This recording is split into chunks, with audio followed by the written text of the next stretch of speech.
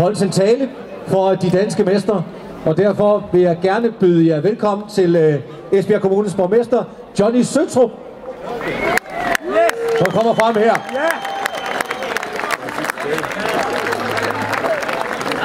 Lad mig starte med at byde jer alle sammen velkommen til denne festdag. Og festdag, det er det, når man skal hylde Danmarks absolut bedste ishockeyspillere, som står lige her. Giv dem en hånd.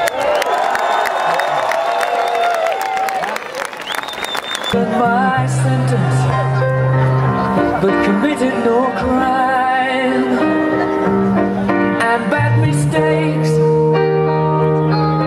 I've made a few. I've had my shells and kicked in my bed. Og der var gerne synges med publikum. I need to go on, on, on. Der var bad til nogen heroppe foran. Så synger vi Esbjerg.